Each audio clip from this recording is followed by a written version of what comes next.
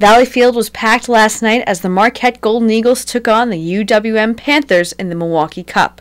2,089 fans were in attendance last night, the largest known crowd in Valley Field history.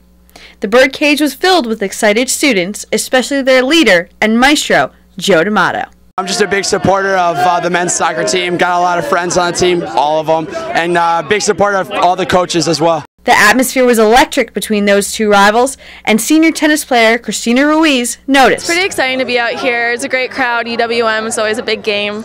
So it's the, my first soccer game this year that I've been to, so it's really cool to see the seniors out here. I've been with them for three years. I heard we have some great freshmen. Speaking of freshmen, basketball players Vander Blue and Reggie Smith came out to show their support for the soccer team, as well as their teammate Darius Johnson Odom and former Marquette stars Lazar Hayward and Wes Matthews. Although the game didn't go Marquette's way, the Fanatics stayed faithful till the end. We would like to tell everyone, as many people as possible, to come. It's a big game. Every game's a big game. Even